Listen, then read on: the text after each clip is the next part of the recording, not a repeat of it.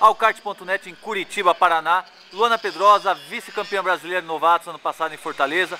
Primeira vez que está andando aqui em Curitiba, o que achou da pista, Luana?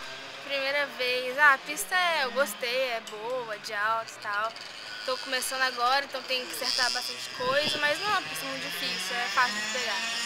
Você, de um ano pra cá, o que você fez depois do brasileiro lá de Fortaleza? O que você disputou? O que você fez? Ah, eu disputei o Campeonato Paulista Light em São Paulo e fui para os Estados Unidos também. Passei uma temporada lá em Miami disputando o Campeonato da Flórida e agora vim pra cá correr o brasileiro.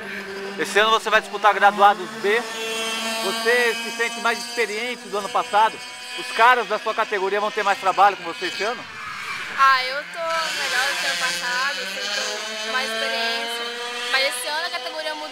Então os pilotos são bem experientes também, então vai ser bem mais difícil que ano passado. Muito obrigado, Luana Pedrosa, para o Alcarte.net.